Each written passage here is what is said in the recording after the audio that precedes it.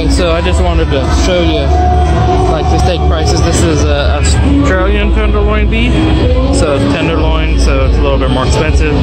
Um, but uh, the local beef from uh, for a steak with fries and salad.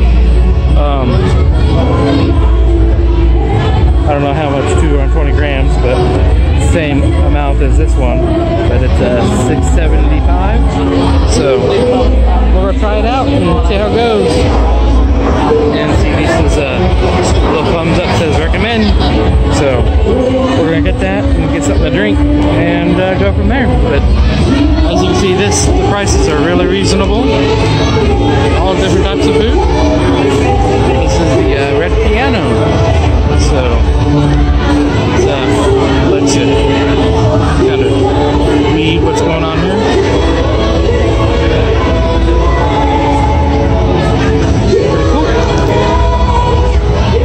I got for a non-alcoholic drink.